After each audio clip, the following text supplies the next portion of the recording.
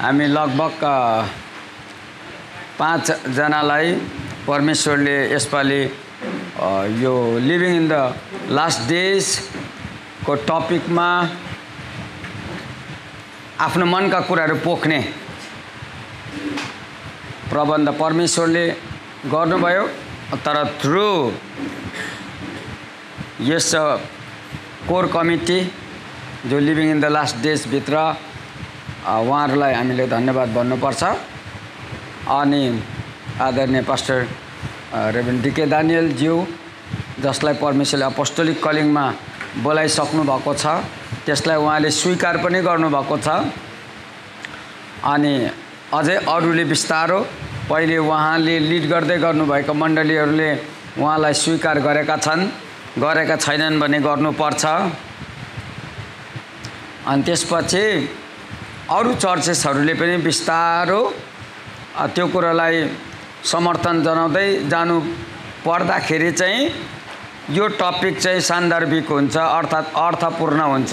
Living in the last days नत्र भने यो टपिक चाहिँ हुन्छ living in the fourth centuries हुन्छ फेरि यो। यो शब्द मैले किन चलाएँ भन्दाखेरि हामी चाहिँ फोर्थ सेन्चुरिजमा जिउ बाँचिराखेका छैनौँ।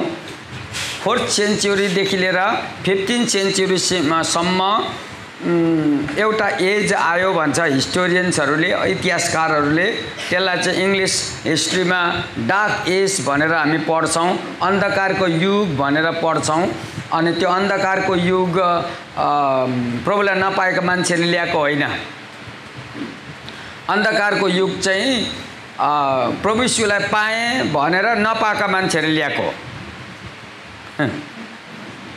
यो शब्द चलाउँदैछु म। प्रभु यीशुलाई पाएँ भनेको तर प्रभु यीशुलाई पाएको चाहिँ थिएन। र चर्चभित्रैका मान्छेहरूले चाहिँ डार्क एज ल्यायो। इतिहास इतिहासले बताउँछ यो। तपाईँले इङ्ग्लिस हिस्ट्रीमा पढ्न पढ्नुपर्छ यो कुराहरू। अनि पछिबाट रेनेसास भन्छ। जागरणको युगहरू आयो। त्यसले गर्दा मैले अब यो इतिहास म अहिले बताउँदिनँ। हाम्रो अपोसल निरपति राईज्यूले यो जम्मै कुराहरू छुनुहुन्छ भरे प्रोफेटिक मुभमेन्टमा छुनुहुन्छ। अनि मैले छुइहालेँ भने बिचराले के छुला फेरि? त्यसले गर्दाखेरि त्यो कुराहरू उहाँले छुनुहुन्छ। अनि म चाहिँ अहिले जस्ट टिम्बुरको अचार जस्तो मात्रै यस्तो मात्रै हो यो। म अहिले छुदिनँ। टिम्बुरको अचार कसले यसरी खान्छ र हो अन्त टिम्बुरको चिम्पिङको अब के के अचार? अचार भन्ने बित्तिकै त्यो एक औँलाले कतिको पिरो छ पिरै भएको हो नि त त्यो। त यसले गर्दाखेरि हामी हाम्रो टपिक अनुसार जानुपर्छ living in the last days अनि परमेश्वरको आत्माले आफैले प्रभुको दासभित्र यो लाइन हालिदिनु भयो living in the last days र अन्तिम दिनमा बाँचेका हामी मानिसहरू अन्तिम दिनमा बाँचेका सारा संसार यो आखिरी घडीमा बाँचिराखेको छ। अनि त्यसको एउटा विभाजन आइराखेको छ।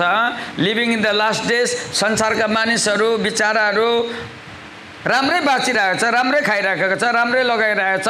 तपाईँहरू मेरोभन्दा राम्रो बिल्डिङ बनाइराखेको छ। तपाईँहरू मभन्दा अलिक राम्रो गाडी किनिराखेको छ। अनि राम्रो ढङ्गले जिराखेको छ तर उनीहरूलाई यो चाहिँ थाहा छैन कि यो आखिरी घडीको दिनहरूमा चाहिँ यो यो डेजहरूमा चाहिँ पहिरो गइराखेको छ भनेर चाहिँ थाहा छैन बिचराहरूलाई। तर हामीलाई चाहिँ थाहा भयो हामी लास्ट डेजमा बाँचिराखेका छौँ। अलिअलि अलिअलि अलिअलि अलिअलि गएर यो एजमा पहिरो जाँदै आउँदैछ। त्यसको अर्थ सकिनु लागेको यो एजहरू हो। त प्रभुलाई धन्यवाद होस्। यो विभाजन रेखा कोर्दै गर्दाखेरि चाहिँ हामी चाहिँ उकालो लाग्दैछौँ आत्मामा संसार चाहिँ ओह्रालो लाग्दैछ शरीरमा। कुरा यति मात्रै हो। सबले यसो एक्सनमै भनिदिनुहोस् त मजा आउँछ नि? हामी चाहिँ उकालो लाग्दैछौँ आत्मामा। संसार चाहिँ ओह्रालो लाग्दैछ शरीरमा। तिनीहरूलाई तान्दा ओर्दा आफू पनि सोरिने डर।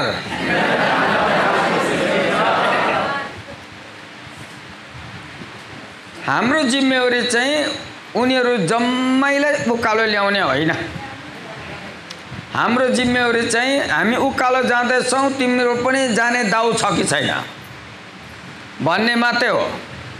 त्यसले गर्दा पिरोलो चाहिँ मान्नु हुँदैन। जिम्मेवारी चाहिँ पुरा गर्नुपर्छ। पिरोलो चाहिँ मान्नु हुँदैन। म चाहिँ पिरोलो मान्दिनँ। बल्ल बल्लको जिन्दगी पिरोलो मानेर त्यो दुई चोकटा सुँगुरको मासु पनि छोड्ने हो। अस्ति एउटा कन्फरेन्समा एउटै टेबलमा परेछ नि त फेरि। सिक्किमको एउटा बहिनी छोरी एकदमै प्रभुमा डिप अगाडि बढिसकेको सुँगुरको मासु पनि छोडिसकेको रहेछ उसले त। फेरि त्यो कन्फरेन्सले सुँगुर नबनाइदिनु नि। सुँगुरको मासु बनाइदिएछ मेरो भागमा परिताल्यो। अनि अगाडिपट्टि बसेको रहेछ उनले चाहिँ सादा खाँदै रहेछ। मेरो भागमा सुँगुरको मासु देख्यो। हजुरले अन्त अहिलेसम्म सुँगुरको मासु छोड्नु भएको छैन भनेर अत्तालिएर सोध्यो। मैले भने छोरी बोसो छोडे फलमासु छोडेको छुइनँ भने। मलाई फेरि यो सुँगुरको खसीको राँगाको माछा यो भात त्यो भात यो सबै भौतिक कुराहरू हो त्यसले मेरो आत्मालाई केही बिगार्नेवाला चाहिँ छैन। त त्यसो भए अब छोड्नु नछोड्नु एक दिन मन पर्दैन छोडिदिन्छु नि म। अहिलेसम्म मन परिरहेछ फेरि। यति नै हो अलिअलि निन्द्रा त लाग्छ। अब त्यो शरीरलाई फेरि रेस्ट पनि त चाहिन्छ। मैले चाहिँ जिन्दगीलाई सजिलो ढङ्गले बुझेको छु त्यसले गर्दा म नरमाइलो जीवन जिउन चाहदिनँ। र अलिक सजिलै ढङ्गले जिउनुपर्छ किनभने परमेश्वरको प्रशस्त मात्रामा अनुग्रहमा हामी बाँचेका छौँ। ओके म टपिकमा जाँदैछु। लिभिङ इन द लास्ट डेजमा मैले पाएको टपिकको नाम चाहिँ five fold ministry in the last days हो। अनि हिजो मैले अलिकति तपाईँलाई जानकारी गराएँ। यो बारेमा आजभन्दा चौबिस वर्ष अगाडि एउटा किताब सत्तर पेजको किताब चाहिँ लेखेको थिएँ। किताबको नाम परमेश्वरले मलाई ते त्यसरी नै राख्नको लागि अगुवाई गर्नुभएको होला। पञ्चदलीय सेवकाई भनेर त्यो शब्द प्रभुले मलाई पहिलोपल्ट लेख्न लगाउनु भयो अनि त्यसपछि अरूले पनि यहीलाई पछ्याउँदै गए। अनि सेवकाई भनेको त एकल काटे हुँदैन रहेछ। सेवकाई भनेको त दल सेवकाई पो हुँदो रहेछ भन्ने कुराको सुरुवात चाहिँ त्यो पुस्तकबाट परमेश्वरको आत्माले गर्नुभयो। अनि लेख्नु चाहिँ मेरो डट पेनको मसी सकियो। तर सुरुवात चाहिँ त्यहीँबाट भयो दल सेवकाई चाहिँ अनि परमेश्वरलाई धन्यवाद। यो बारेमा सारा संसारभरि अरू अरू देशहरूमा चाहिँ दल सेवकाई सुरु भइसकेको थियो। तर हामी नेपाली समाजमा चाहिँ एकल काटे सेवकाई बढी भयो। एकल काटे सेवकाई बढी भयो। हिरो सेवकाई बढी भयो भनौँ न। तर परमेश्वरको इच्छा चाहिँ हिरो सेवकाई होइन रहेछ। परमेश्वरको सेवा परमेश्वरले चाहना गर्नुभएको सेवकाई चाहिँ कमिलाको ताती सेवकाई रहेछ। सबले हात होला त भन्नुहोस् न। कमिलाको ताती सेवकाई मौरीको गोला सेवकाई त मौरीलाई हामीले सोध्नुपर्छ म कहाँबाट ल्यायो तिमीले? भनेर सोध्नुपर्छ मौरीले भन्छ मैले होइन हामीले भन्छ मौरीले। मौरीले म मैले भन्दा म भन्ने त शब्दै चलाउन सक्दैन। म भन्ने शब्द चलाएको त त्यो ठहरै हुन्छ। किन उसले एक्लै गरेको होइन? सबै मिलेर गरेको। कमिलाले पनि एक्लै गर्नु गर्नु सक्दैन। नातु कमिलाले धरी मिलेर सेउका गर्नु सक्दो रहेछ हौ। नातु मौरीले धरी मिलेर सेउका गर्नु सक्दो रहेछ। झन् मान्छेले त मिलेरै गर्नुपर्ने। मान्छे माथि पनि स्वर्गको टच भएको मान्छे अरे फेरि। त त्यसले गर्दाखेरि हामीले त्यो कुरा कन्फेसन गर्नुभन्दा अगाडि अलिकति सोच्नु पर्ने रहेछ के म मान्छे नै हो? मान्छेमा पनि म परमेश्वरलाई पाएको मान्छे हो। त्यसमा पनि बाइबल खर्लपै खाएको मान्छे हो। हो भन्यो भने मिल्नु सक्छ। होइन भने एकल काटे। त्यसलाई नेपालीमा भन्नु पऱ्यो भने फटेङ्ग्रे सेवकाई भन्छ। म पनि अचम्मकै मान्छे। एक दिन म बाटोमा जाँदै थिएँ। जानु त सबै जान्छ म पनि जाँदै थिएँ। ए एक्लै हिँड्दै थिएँ।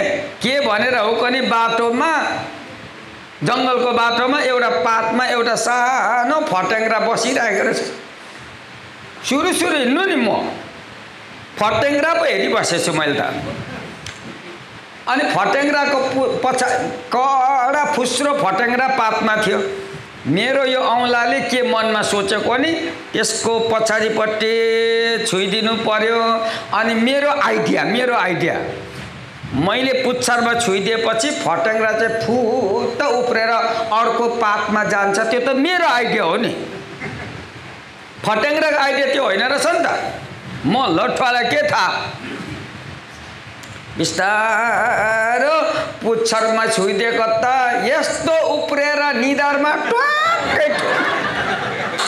उल्टा रहेछ नि त। मैले के सोचेको फट्याङ्ग्राको स्टाइल बेग्रै रहेछ।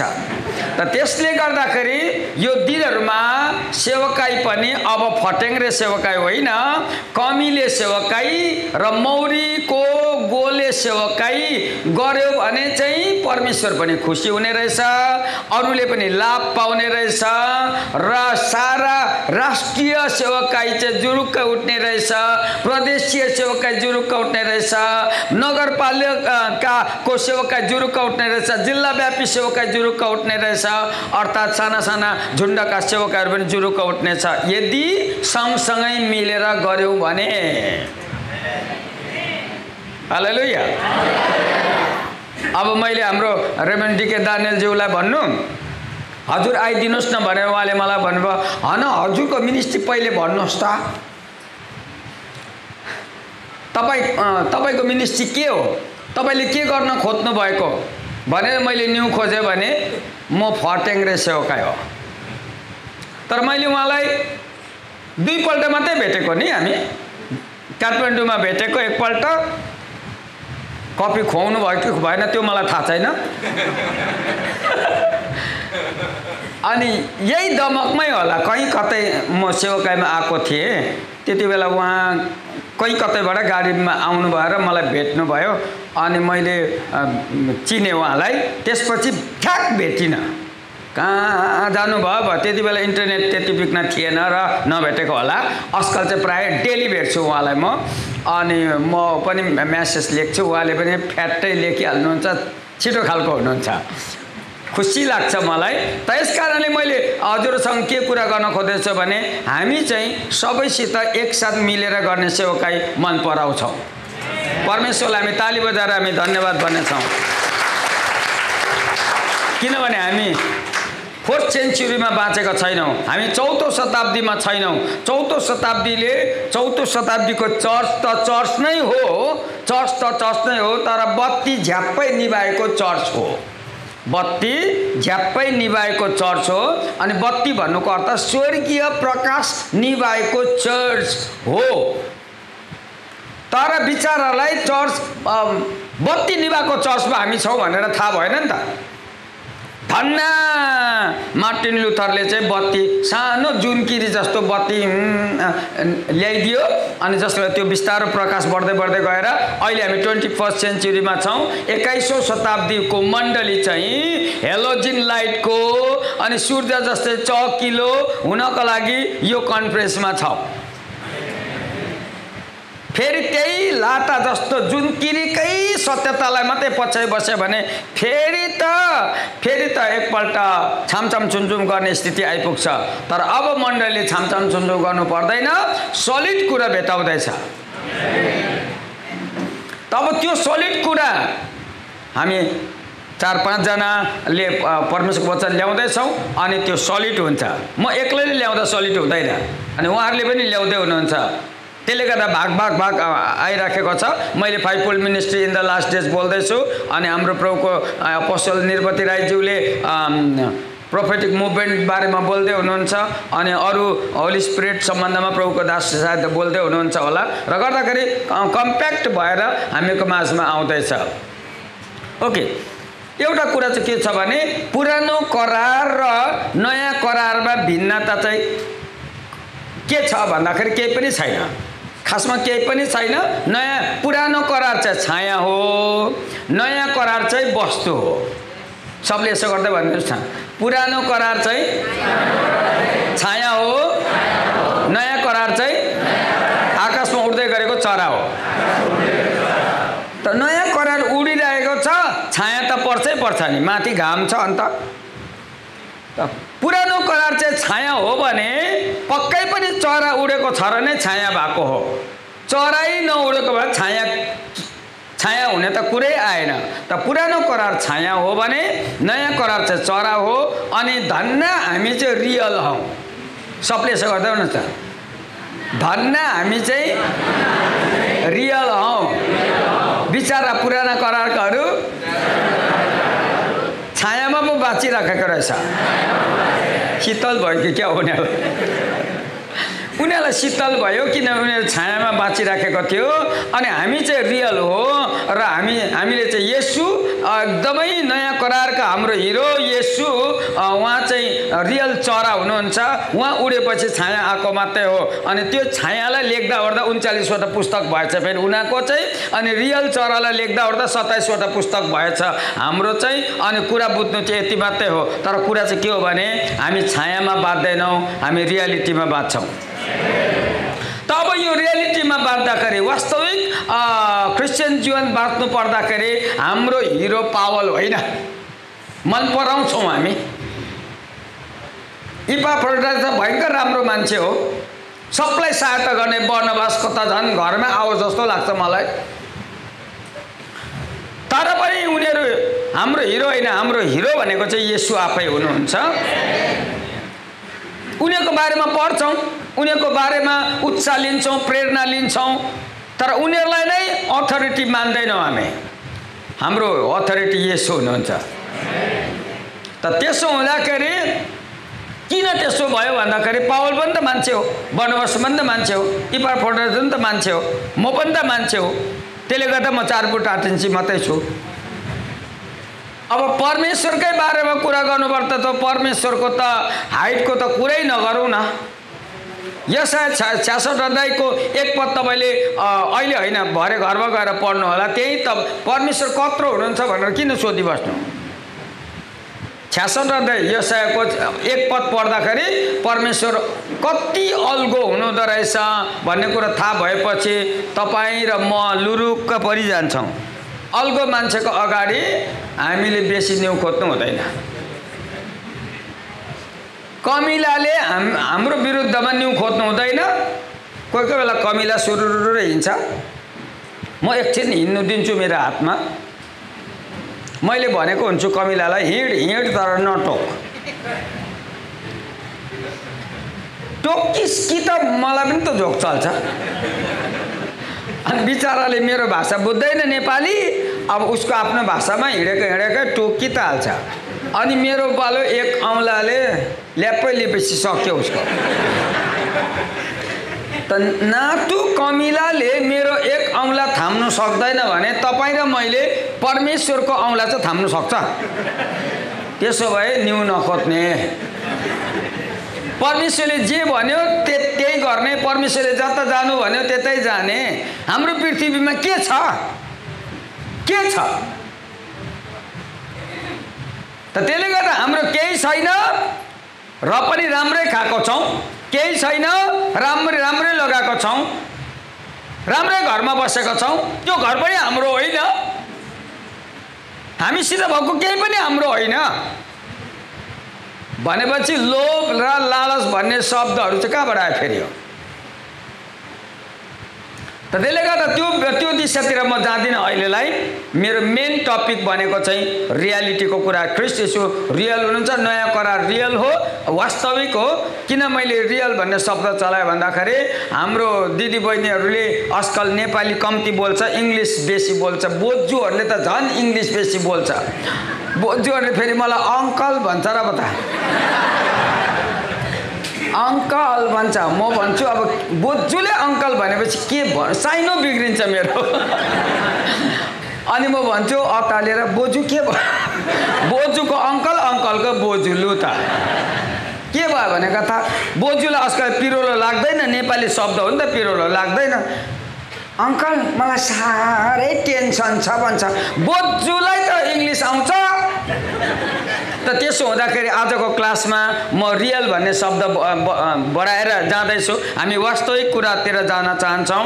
हामी लिभिङ द लास्ट डेजमा अब परमेश्वरले फाइभ फोल मिनिस्ट्री अर्थात् पञ्चदलीय सेवक दल सेवकाई चाहिँ किन ल्याउँदै हुनुहुन्छ त? दल सेवकाई चाहिँ किन ल्याउँदै हुनुहुन्छ भन्ने कुराको सानो रूप हामीले हेर्न चाहेको र मसँग यहाँहरूले गन्तीको पुस्तक बाइबल हजुरहरूसित छ यो स्टडी पनि हो एक प्रकारले।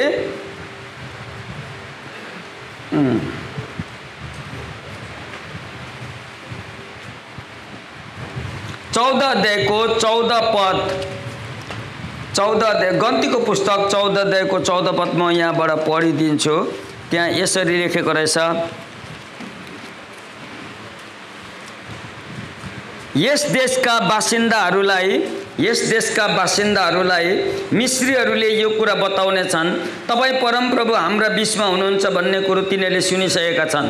किनभने तपाईँ आफ आम्ने सामने नै हुनुहुन्छ र तपाईँको बादल हामीहरूमाथि खडा हुन्छ र दिनमा बादलको खामा र रातमा आगोको खामा भएर तपाईँ हामीहरूको अघि अघि जानुहुन्छ। यो जुन लाइन छ यो पङ्क्ति जो छ बादलको खामा र आगोको खामा भनेको छ कुनै कुनै बाइबलमा चाहिँ आगोको ज्वाला पनि भनेको छ। र यो बादलको खामा र आगोको ज्वाला चाहिँ परमेश्वरले पुरानो करारको छायामा बाँच्ने मानिसहरूको निम्ति छायाको रूपमा दिनुभएको एउटा वाक्य हो शब्द हो। यस कारणले हामीले त्यो कुरा हेर्न खोजिराखेका छौँ। बादलको खामा र आगोको ज्वाला बादल खामा दिनको लागि अनि रातमा चाहिँ आगोको ज्वाला दिनुभयो इजरायलीहरूलाई भनेर हामीले गीत पनि गा बादलको खामा खामा बनी भन्ने एउटा गीत छ। अहिले म बिर्सिँदैछु। त्यो मा माथिल्लो टपिकै याद आएन मलाई। अनि मलाई त्यो गीत पनि याद आउँदैछ। अनि परमेश्वरले इजरायलीहरूलाई एकदमै शान्त ढङ्गमा आफ्नो गन्तव्यमा आफ्नो टुङ्गोमा आफ्नो गोल पोस्टमा आफ्नो पुग्नुपर्ने ठाउँमा परमेश्वर चाहिँ जताभावी डोर्याउनु हुन्न रहेछ। गोल पोस्ट राखेर डोर्याउनु हुँदो रहेछ। अनि लिभिङ द लास्ट डेज यहाँ प्रोग्राम यो हुँदैछ। प्रोग्राम हुनुको लागि भएको होइन यो। यो गोल पोस्टतिर लानको लागि भएको हो। हाम्रो प्रभु परमेश्वरलाई प्लस त्यही भित्र चाहिँ हाम्रो प्रभुको दास रेभेन डिके दानियल पनि हुनुहुन्छ। उहाँ ताली बजाएर परमेश्वरलाई उहाँलाई हामी धन्यवाद भनौँ। किनभनेदेखि परमेश्वरले यो त्यसै यो शब्द दिएको छैन। त्यही माथि पनि इयरली हुन्छ भन्ने कुराहरू हामीले सुन्दैछौँ। अनि जबसम्म परमेश्वरले आफ्नो टुङ्गोमा मानिसहरूलाई लगिसक्नुहुन्न तबसम्म यो कुरा भइ नै रहनेछ। किनभने मान्छेको गोजीको कुरा होइन यो। यो परमेश्वरले तयार भएको कुरा हो। होइन हाम्रो भाइ डिकेले राखेछ म पनि गइदिउँ न। भनेर यदि हामी आएको छौँ भने पनि कमसेकम आउनुभयो। दार्जिलिङमा एकजना भाइ आएछ एउटा कन्भेन्सनमा म वचन बोल्दै थिएछु। यो कुन चाहिँ मान्छे छ म पनि सुन्नु पर्यो। यीशुको बारेमा भन्छ अरे। भनेर आएको रहेछ त्यो चेपचापमा कता बसेको थियो पनि चियो चर्चा गर्नको लागि आएको रहेछ। पछिबाट त ग्रहण गरेर गएछ। अनि त्यसपछि चाहिँ पछिबाट नर्थ इस्ट इन्डियाको कोअर्डिनेटर भइसकेपछि मात्रै मलाई मसँग भेट भयो। मैले हजुरलाई फल्ना फल्ना सालमा वचन बोलेको त्यही दिन मैले प्रभुलाई ग्रहण गरेको। अनि त्यसपछि पछिबाट मैले भेट्नै पाइनँ र अहिले म नर्थ इस्ट इन्डियाको सुपरभाइजर कोअर्डिनेटर भएर क्याम्पस कुसेत महात्मा म सेवाकाई गर्ने मौका पाएँ। अनि उसले मलाई धन्यवाद भन्दैछु। मलाई अत्तो पत्तो छैन। कहिले बोल्दा उसले प्रभुलाई पाए पायो त्यसले गर्दाखेरि परमेश्वरको योजना अचम्मको हुन्छ कुरा नबुझिकन गइन्छ कुरा बुझेर फर्किन्छ। हाले लुया एक्सनमा भनिदेऊ न। कुरा नबुझी गइन्छ कुरा बुझेर फर्किन्छ। कि कसो साथी घोचिदिनुहोस् न छेउ प्रभुलाई धन्यवाद हुन्छ यस कारणले परमेश्वरको योजनामा चाहिँ इजरायलीहरूलाई बादलको खाँबो दिनुभयो। अनि तर आजको टपिकको नाम चाहिँ बादलको खामो को हुन् भनेर हाम्रो टपिकको नाम चाहिँ यो छ। सबले यसो गर्दै भन्नुहोस् न तिनपल्ट भन्नुहोस् न बादलको खाँबो को हुन्? अझै दुईपल्ट बादलको खाँबो को हुन्? बादलको खाँबो को हुन् अब छेउको साथीलाई थाहा भए पो यो हो भन्थ्यो। थाहा छैन? त जबसम्म मैले भन्दिनँ तपाईँले भन्न सक्ने कुरा आएन। त्यो गर्दा म तपाईँलाई पर्खिँदिनँ एक कुन्ताको एक घन्टाभित्रमा सिद्ध्याउनु पर्छ यो। र गर्दाखेरि अ, बादलको खाँबो को हुन् भन्ने हाम्रो टपिक छ भने यो टपिकमा चाहिँ परमेश्वरले इजरायलीहरूलाई चाहिँ कनानको यात्रामा सहायता पुगोस् र दिउँसो पनि टन्टालापुर घामले तालु नतात्योस् र ठहरै अम, नहोस् र फ्युनरल सर्भिस गर्नु नपरोस् भनेर परमेश्वरले बादलको खाँबो दिनुभयो शीतलकताको लागि अनि बिस्तारो अगाडि बढ्न। अनि किनभने इजरायलको पनि यात्रा नै थियो। अनि मान्छे जातिको पनि यात्रा नै छ। हामी क्रिस्चियन परमेश्वरलाई पाइसकेका मानिसहरूको यात्रा त झन् अत्यन्तै सुन्दर यात्रा छ। हामी यात्रामा छौँ। हामी चुपचाप सुतिरहन सक्दैनौँ। हामी यात्रामा छौँ। सबले हात हलाउँदै भनिदिनुहोस् हामी यात्रामा छौँ। हामी यात्रामा छौँ। सिरक ओढेर ग सुत्न सक्दैनौँ। हामी यात्रामा छौँ। यात्रामा हुनेले ब्ल्याङ्केट सिरक यो टापेर बोकेर कहाँ हुन्छ? यात्रा ऊ पर छ ब्ल्याङ्केट छोड छिटो। त त्यसले गर्दाखेरि परमेश्वरले हाम्रो क्रिस्चियन जीवनको यात्रामा त्यही पनि शारीरिक यात्रा होइन फेरि हामी। परमेश्वर नै आत्मा भन्छ फेरि यो नचारको चौबिस पदमा। परमेश्वर आत्मा हो र उनीहरूलाई तपाईँले छोइसक्नु भएपछि तपाईँ पनि आत्मै भइगयो।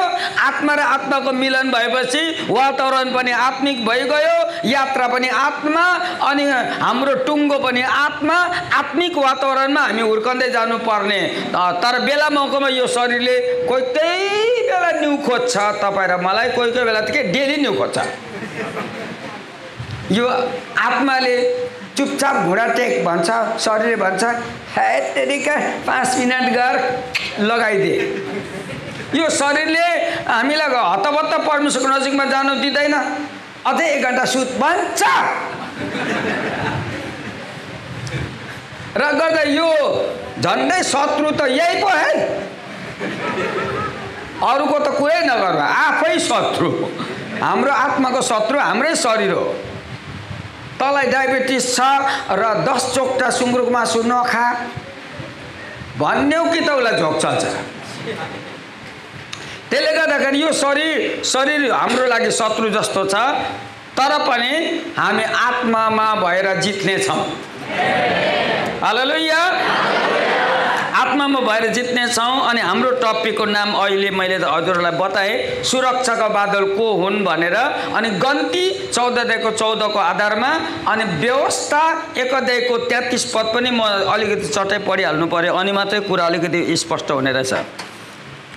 व्यवस्थाको पुस्तक एक अध्यायको तेत्तिस जस्तै लाग्यो। ओके।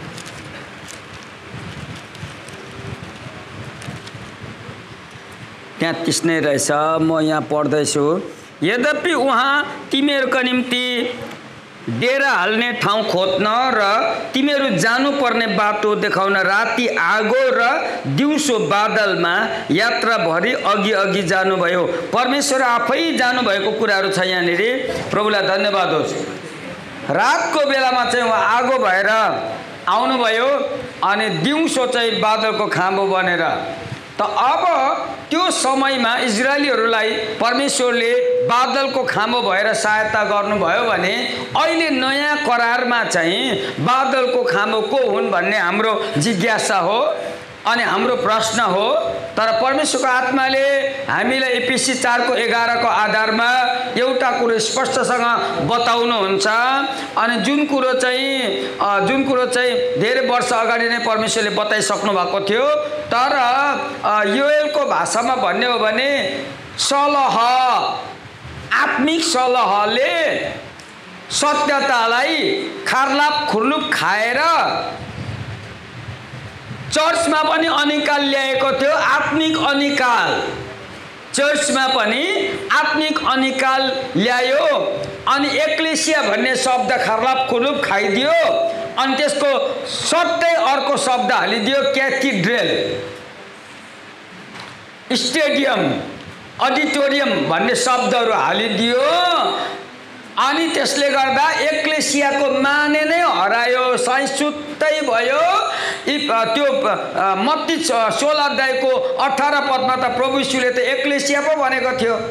अब एक्लेसियाको अर्थ त मानिसहरूको अर्थात् प्रभु परमेश्वरलाई पाइसकेको मानिसहरूको झुन्ड बोलाइएका मानिसहरूको झुन्ड हो अनि चुनिएका मानिसहरूको झुन्ड हो अनि आखिरी घडीसम्म विश्वसयोग्य रहने मानिसहरूको आत्मिक झुन्ड हो त्यो एक्लेसियाको अर्थ। क्याथिड्रल होइन स्टेडियम होइन अडिटोरियम होइन तर मानिसको दिमाग चाहिँ त्यतापट्टि गयो संसार त गयो गयो। संसारबाट अलिकति पैँचो लियो चर्चले पनि। चर्चले पनि पैँचो लियो। चर्चले दिनुपर्नेमा पैँचो लियो। भनेपछि चर्च ब्याङ्क्रप्ट भयो। दिवालिया भन्छ नेपालीमा ब्याङ्क्रप्टलाई अर्थात् रित्तो भयो चर्च। त्यसले गर्दा पैँचो लिन्छ पैँचो लिन्छ। संसारबाट पैँचो लिने काम के छ? हामी त राजाहरूका महाराजाको छोराछोरीहरू हो। सबले यसो गर्दै भन्नुहोस् न हामी त राजाहरूका महाराजाको छोराछोरी हो हामी किन पैँचो लिइबस्ने फेरि पनि एकपल्ट तपाईँले मैले सोच्नुपर्ने दिन छ।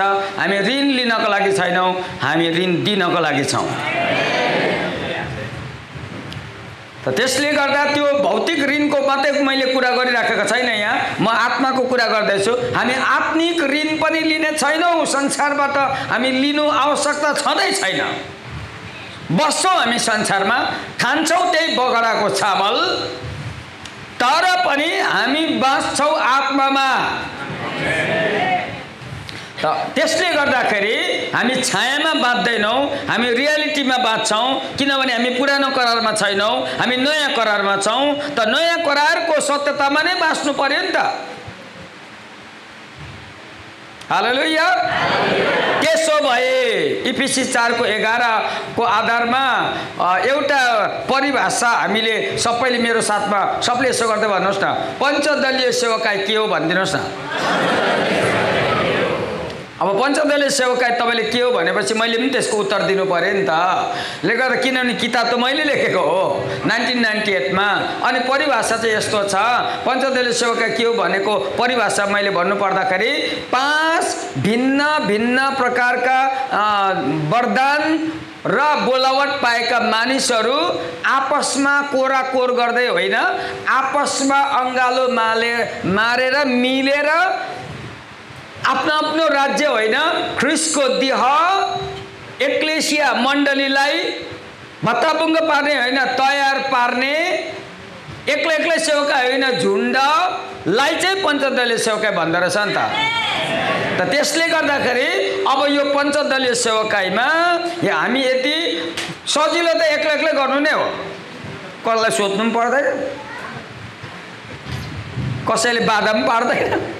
सजिलो त एक्लै गर्नु हो। तर पनि सजिलो भएर हुँदैन नि। सजिलो भए उद्देश्य पूर्ण हुनु पऱ्यो नि। सजिलो के को सजिलो? सजिलो त अब सिक्किम तपाईँ पुग्नु भयो भने एउटा त्यो जौबारी भन्ने गाउँमा जानुपर्छ तपाईँ सजिलै पुग्नुहुन्छ। किनभने त्यहाँ कमेरे माटो छ सेतो। खुट्टा टेक्नु मात्रै पर्छ सुलु हिँड्नु पर्दैन। सजिलो क्या त्यो? अनि एकपल्ट त्यस्तो बाटोमा गस्पल मिटिङको लागि जेनेत खालिङ त्यति बेला दिल्ली गएको थिएन मलाई त्यहाँ बोलायो। अनि मैले जेनेत खालिङलाई सोधेँ बहिनी अरू अरू पनि त पास्टरहरू छ यो गोस्पल मिटिङमा बोल्नुको लागि के? म मात्रै हो भनेको त होइन हो अङ्कल। तपाईँ स्लिम फिगरको छ कि? अनि चिप्लेर लडेकै त जुरुक्क उठ्नुहुन्छ। त्यसले गर्दा भयङ्कर बोल्छ भनेर बोलाएको होइन रहेछ। लडेकै त जुरुक्क उठ्ने खालको मान्छे अरे म। स्लिम फिगरको अरे। त्यसले गर्दा बोलाएको अरे। मैले भन्नुको अर्थ चाहिँ के भने सजिलो बाटो हिँड्नु चाहिँ पर्दैन सुलुलु जान्छ तर ठेकान छैन नि त। हामीले सजिलो खोज्नु हुँदैन। हामीले उद्देश्य मात्रै खोज्नुपर्छ। त उद्देश्य चाहिँ परमेश्वरले हामीलाई कना इजरायलीहरूलाई कनान दिएको छ भने हाम्रो कनान चाहिँ प्रकाशको पुस्तक तिन अध्यायको सातदेखि तपाईँले तेह्रसम्म अहिले नप नपढ्नुहोस् न मेरो किताब पढ्यो भने भइगयो नि। फिलाडेल्फिया चाहिँ परमेश्वरको ल्याटेस्ट डिजाइन हो। फिलाडेल्फिया मण्डली चाहिँ परमेश्वरको ल्याटेस्ट डिजाइन हो अनि हरेक पास्टर हरेक अगुवा हरेक बाइबल कलेजको प्रिन्सिपलदेखि लिएर थियोलोजी ब्याकग्राउन्ड जानेदेखि लिएर सबै ब्याकग्राउन्डमा जानेहरूले एउटै मात्रै टार्गेट राखोस् म हामी सबै मिलेर मण्डलीलाई चाहिँ फिलाडेल्फियाको स्टाइलमा हामी लानेछौँ भनेर जीवनमा धोका पाउने छैन किनभने फिलाडेल्फियाले चाहिँ ठुलो इनाम पाउनेवाला छ। परमेश्वरलाई ताली बजाएर धन्यवाद गर्नुहोस् त। वा गर्नुहोस् न। वा इनाम पाउँदा त कहाँ धुरु धुरु हुन्छ अन्त वा हुन्छ। यसकारण इनाम पाउने मण्डली बनाउनु पर्छ हामी हरेक अगुवाले माथि गएर झापट खाने मण्डली बनाउनु हुँदैन। त त्यसले गर्दाखेरि बल्ल बल्ल स्वर्गमा गएको परमेश्वरको हात फेरि आम्मा कत्रो त्यो हत्केला चाहिँ चिलायो भने तपाईँको गाला सानो परमेश्वरको हात ठुलो। ड्याममै परेर हुरु बिजोक भएर स्वर्गमा पनि घुमिहिँड्नु भन्दाखेरि नि अलिक मुकुट लगाएर शानदार आदर्शित घुमेकै राम्रो हुन्छ। त त्यसले गर्दाखेरि यदि त्यो मुकुट पाउने हो भने यहाँ पनि त ठिक काम गर्नु पऱ्यो नि त फेरि। त्यसले गर्दा हामी स्वर्ग जानको लागि स्वर्ग जानको लागि मात्रै प्रभुमा आएको होइन हिजो तीर्थले भन्दै हुनुहुन्थ्यो अनि हामी स्वर्ग जानको लागि मात्रै होइन हामीलाई पृथ्वीमा रिप्रेजेन्टेटिभ प्रतिनिधि बनाएर परमेश्वरले पठाउनु भएको छ अनि हाम्रो प्रतिनिधिको काम चाहिँ स्वर्ग झार्ने हो। हाम्रो काम स्वर्ग जाने हो अनि स्वर्गमा दाग हुँदैन र स्वर्गीय कुरा ल्याउनु पर्छ अनि हामी परमेश्वरले हामीलाई स्वर्गीय कुरा ल्याउनको लागि बोलाउनु भयो अनि अर्को कुरो चाहिँ के हो भने पञ्चदलीय सेवकाहरू मध्येमा यो सबले यसो गर्दै भन्नुहोस् त। प्रेरित अगमवक्ता प्रचारक पास्टर बाइबल शिक्षक। अघि हामीले मेलमिलापको कुरा गऱ्यौँ। नाथु एक थाल भात खाँदा। अरू होइन हो नाथु एक थाल भात खाँदा। कहिले कान्छे एक्लै खाएको छ? भात खाँदा त थाहै छैन। पहिले सोध्छ आज ट्युन कस्तो छ? लोकल कुखुराको चम्ची हटाऊ। अरे आम छ अरे चम्चीले ढिलो हुन्छ। त्यसले गर्दा बाउला पनि सार्छ पो त बाउला त माथि नै छ नि लाग्दैन नि खासमा। उसको त्यो एकदमै त्यो मनोविज्ञान नि कतै उछिट्छ कि भनेर डरेको त बाउला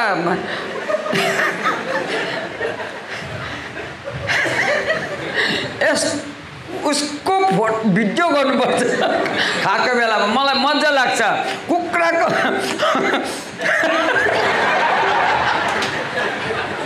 कुखुराको मासुको सुप खाएको बेलामा चाहिँ भिडियो गर्नुपर्छ। साह्रै दामी हुन्छ। अनि तर कुरा चाहिँ के हो भने उद्देश्य चाहिँ के हो त भन्दाखेरि खाने बेलामा बुढी औँला चोर औँला साइली औँला अर्को औँला कान्छे औँला भनी बस्दैन त्यसको त नामै आउँदैन। चुपचाप पाँचैजना मिलेर मुखसत्यको सम्बन्ध छ यहाँनिर। हरेकले आफ्नो जिम्मेवारी निभाउँदो रहेछ त अन्त भात खाने बेलामा भात खाने बेलामा खुट्टालाई एप्लिकेसन चढाउनु पर्छ र। हेलो खुट्टा। भुँडीलाई भोक लाग्यो अरे। हजुर च- भान्साघरसम्म गइदिनुहुन्छ। भवदीय म।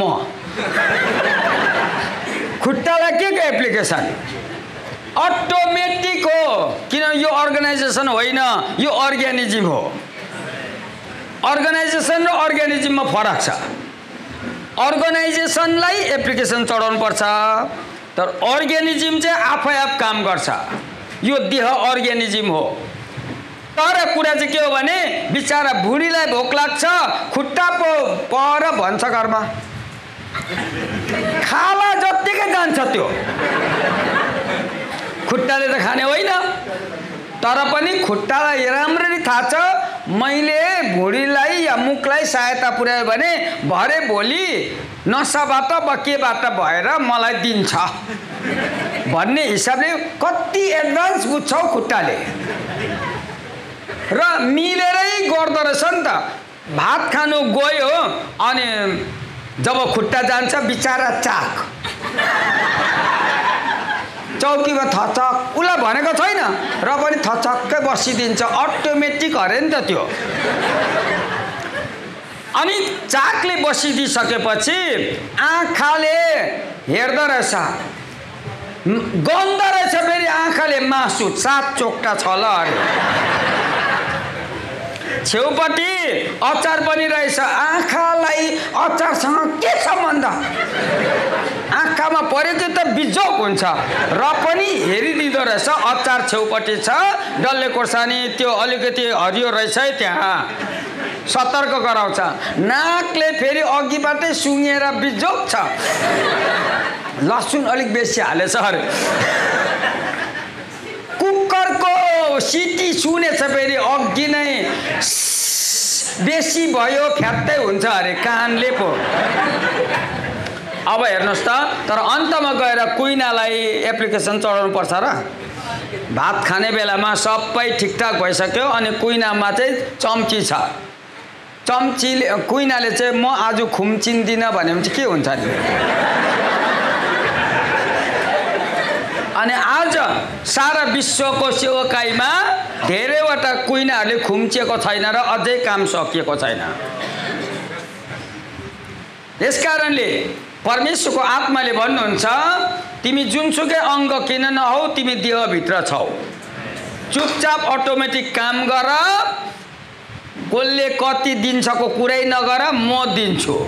परमेश्वरले भन्नुहुन्छ कसले कति दिन्छ होइन त्यो त्यो कुरा त्यो भौतिक कुराहरूमा तिम्रो ध्यान नजाओस्। कुरा चाहिँ मेरो उद्देश्य पुरा गर तिमीले थापी नसक्नुको त म दिन्छु। तर तिमी चाहिँ आज्ञाकारी हुनु तिमी चाहिँ समर्पित हुनु तिमीले उद्देश्य कुरा बुझ्नु किनभने तिमी पुरानो करारमा छैनौ तिमी नयाँ करारमा छौ। नयाँ करारकोहरूले न उत्पात मचाउँदैन नयाँ करारकोहरूले झगडा गर्दैन नयाँ करारकोहरूले त तर मम गर्दैन नयाँ करारकोहरूले मेरो र तेरो गर्दैन। नयाँ करारकोहरूले हाम्रो मात्रै भन्छ अर्थात् परमेश्वरको मात्रै भन्छ। सबले यसो गर्दै भन्नुहोस् त हाम्रो परमेश्वर परमेश्वरको राज्य मान्छेको राज्य सकियो परमेश्वरको राज्य आयो। यसले गर्दा हामी सबै मिलेर गर्न सक्छौँ। मैले कुरा बुझेँ। मैले कुरा बुझेँ। अब म ट्याक्कै न्यु खोज्दिनँ।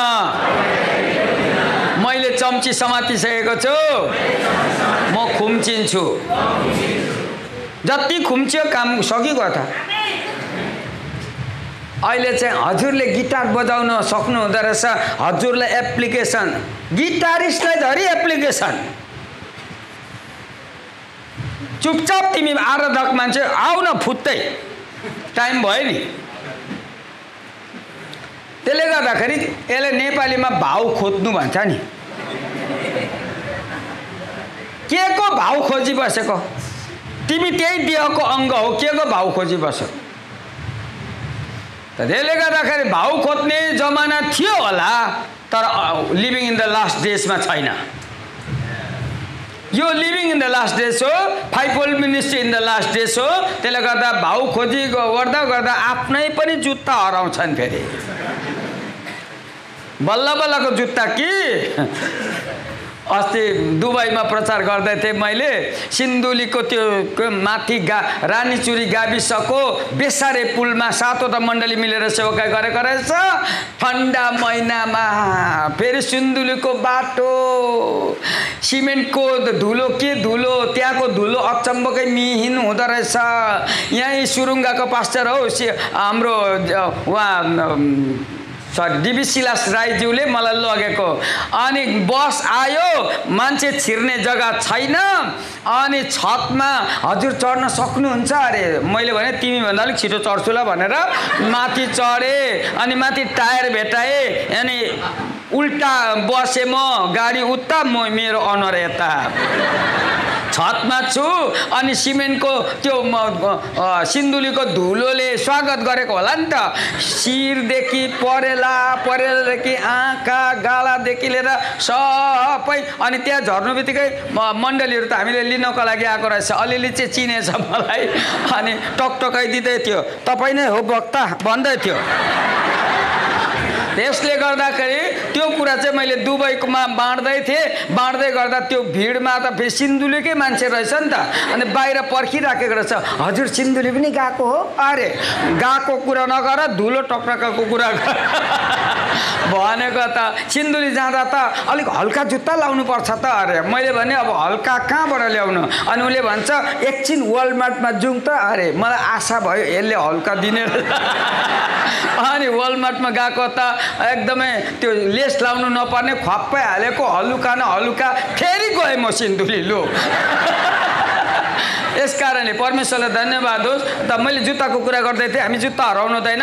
परमेश्वर हाम्रो परमेश्वर चाहिँ सुसमाचारको तयारीको जुत्ता हुनुहुन्छ। आमेन। त उहाँ हाम्रो जीवनमा हुनुहुन्छ र हाम्रो टुङ्गो चाहिँ के हो भने सुरक्षाको बादल को हो भन्नु खोज्दाखेरि चाहिँ यो पञ्चदलीय सेवकहरू मध्येमा परमेश्वरले नयाँ करारमा चाहिँ प्रेरितलाई चाहिँ सुरक्षाको बादल भनेको रहेछ। सबले तिनपल्ट भनिदिनुहोस् न प्रेरितको सेवकाईलाई चाहिँ सुरक्षाको बादल भनेको रहेछ। अगमभक्तलाई चाहिँ आगोको ज्वाला भनेको रहेछ। जब जब तपाईँ अगमवक्ता भेट्नुहुन्छ अगमवक्ताको सेवकाई भेट्नुहुन्छ तपाईँले बाटो देख्नुहुन्छ उज्यालो बाटो देख्नुहुन्छ। जब जब तपाईँले प्रेरित भेट्नुहुन्छ तपाईँ शीतलको छायामा बस्न सक्नुहुन्छ। यसले गर्दाखेरि नेपालमा परमेश्वरले अब सतहत्तरवटा जिल्लाहरूलाई सेभेन्टी सेभेन प्रेरितहरू दिँदै हुनुहुन्छ। कुरा चाहिँ के हो भने नेपालले स्वीकार गर्नु पर्यो एउटा जिल्लामा एउटा प्रेरित छ भने काफी नै हो। बेसी भयो भने पनि फेरि के कसो हुन्छ कोनी? एउटा जिल्लामा एउटा प्रेरित काफी छ। अनि त्यसले गर्दा परमेश्वरले दिनको लागि तयारी हुनुहुन्छ। तर थाप्नको लागि पनि तयारी हुनु पर्यो परमेश्वर त दिनको लागि त उहाँ त पछि पर्नु भएको छैन। तर थाप्ने मानिसहरूले पो क्वेसन गरेर बिचोक छ फेरि। परमेश्वर परमेश्वरलाई क्वेसन गर्ने हो।